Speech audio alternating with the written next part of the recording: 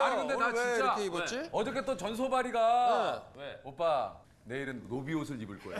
내일은 노비 옷을 입을 거야. 어떻게 알아? 아니 그 전우야. PPL까지 알아. 얘 PPL도 알아. 얘 아니 도대체 누구야? 오늘 내가 내가 배고프다니까 오빠 오늘 설치 들어와요. 뭐야?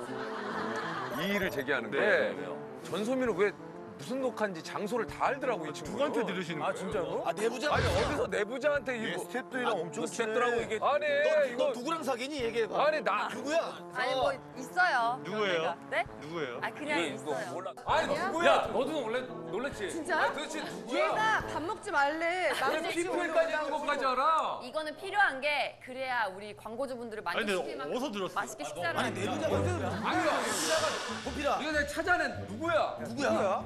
나 찾아내면 현상금 드리나 현상금 드리. 아 진짜 이거 차, 알머니 100만 원 드릴게요. 할머니? 오케이.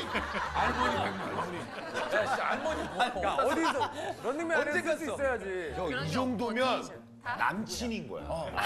아니 이거 그 봐봐. 이거는 와 사랑 사랑하지 않은 소민이 봐봐. 노비 목장에 맞춰갖고 헤어스타일도 그래. 아니까 좋잖아 이렇게 딱 이거 반칙이야. 준비해서 아니 이니셜만 얘기. 아 나 진짜 이거 누군지 몰라. 진짜 내 얘기인데 이거. 아왜 손을 잡아 갑자기? 아 어디야? 진짜 남친. 아왜 이래?